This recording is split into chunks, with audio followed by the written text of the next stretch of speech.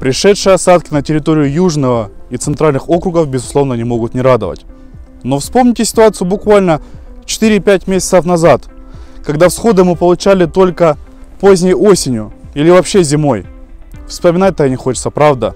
Но это природа, и мы должны учитывать ее мнение. В связи с этим является актуальный вопрос о грамотной, экономически целесообразной и безопасной для культуры продуктов для обработки семян. Итак, мы находимся с вами на территории Краснодарского края, где мы заложили опыты с различными вариантами обработки семян. С левой стороны от меня вариант Celest Max, готовый инсектофунгицид с нормой на 1 тонну 1,8 литра. В правой руке от меня находится конкурентный продукт, фунгицидный, 0,3 литра на тонну в баковой смеси с инсектицидом 0,6 литра на тонну. До того, как рассказать о результатах проводимых учетов, давайте немного пройдемся по агротехнике данного поля. На данном поле высеян сорт Таня первой репродукции. Предшественник здесь два года подряд сахарная свекла. Норма высева 5,5 миллионов гектар. Дата сева 14 октября 2020 года. Как я уже упомянул ранее, предшественником на данном поле было два года подряд сахарная свекла, что безусловно добавляет нам проблем с не без того низкими запасами продуктивной влаги. И тем актуальнее встает вопрос о безопасности продуктов для культур.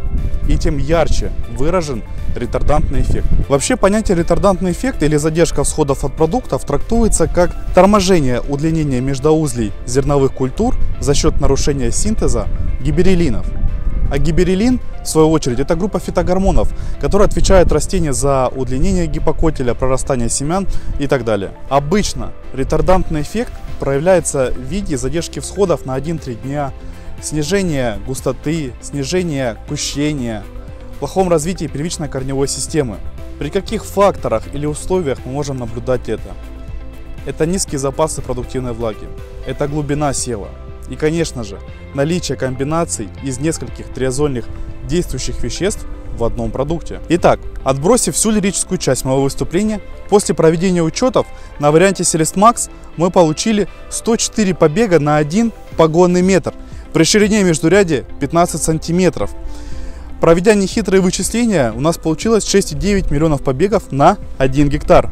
И соответственно на конкурентном продукте в баковой смеси с инсектицидом у нас получилось 60 побегов на одном погонном метре, что позволило нам рассчитать количество побегов на 1 гектар, которое равно 4 миллионам. Что означает, при массе колоса 1 грамм и учитывая тот факт, что один побег один колос, на варианте сингента получается 69 центнеров с гектар потенциальной урожайности. А на конкурентном варианте 40 центнеров с гектар потенциальной урожайности. Итого разница 29 центнеров с гектар, что при текущей стоимости за 1200 рублей за 1 центнер зерна составит 34 800 рублей. Весомые потери от неправильного выбора продукта для обработки семян. Не так ли?